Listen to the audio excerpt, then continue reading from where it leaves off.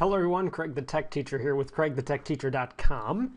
And today I'm answering a question that, um, well, well, I'm just showing you guys what I learned today. As you guys may or may not know, I've been using WooCommerce to build my shopping cart system on my website here, precisionelec.com, precision-elec.com. Uh, this is the company I work for from day to day. Now, it's come to my attention that a lot of people were having the same problem I was having, which was WooCommerce wouldn't send email.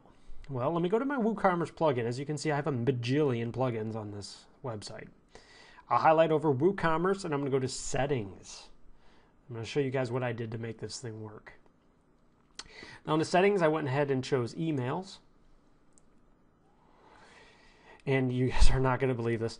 Um, what would happen is, is I had this all set up. I had my from name, yeah, it's the company name, but I had it as Precision Elec Inc.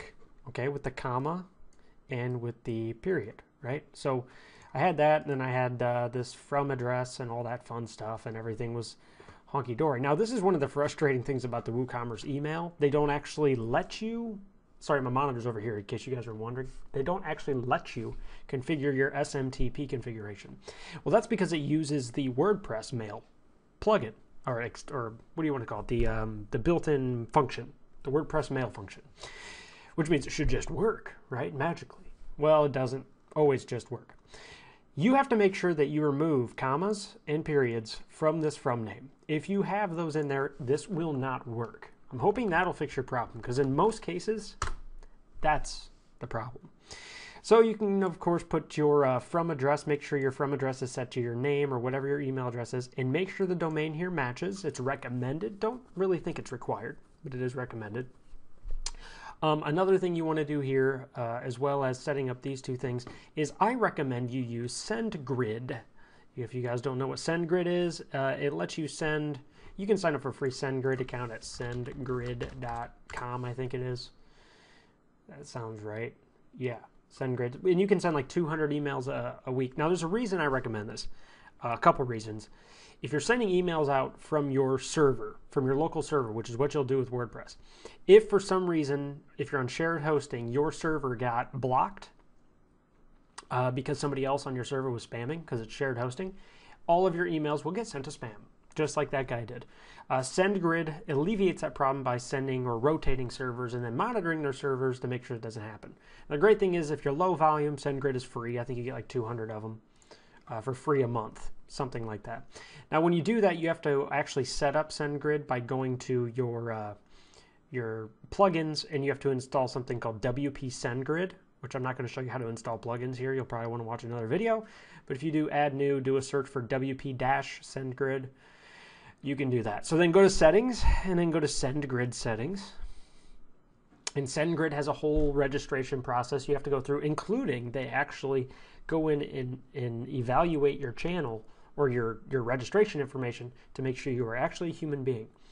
Now, what I did is I used the SendGrid username and password. If you want to, you can try to get it to work with SSL. Uh, but if you want to use SSL encryption, you have to use the SSL extension for PHP. It's something you have to do. Now, when you're all said and done with this, a good way to test the WooCommerce plugin is I just created an order. Because remember, if you go to your email settings again, let me go to my email settings again, show you this real quick. And I'll go to emails.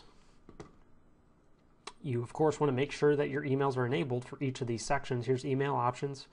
I'm going to go to new order and I am going to make sure that this is enabled. Make sure you check that box for email notification. Each one of these sections has its own.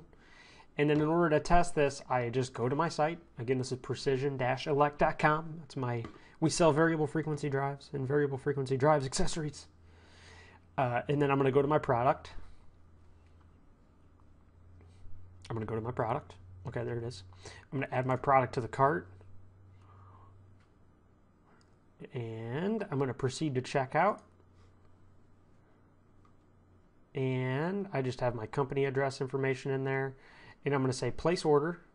Now, of course, there's no actual credit card processing going on. If you're familiar with WooCommerce, this is just a simulated order. So now I can go to my, back to my dashboard. Let me go back to my dashboard here. And as you can see in the dashboard, when I get to my WooCommerce orders, it will have created an order. And at this point, the customer should have been emailed. Now let me pull up my email on another page so I can show it to you guys to see if I received it.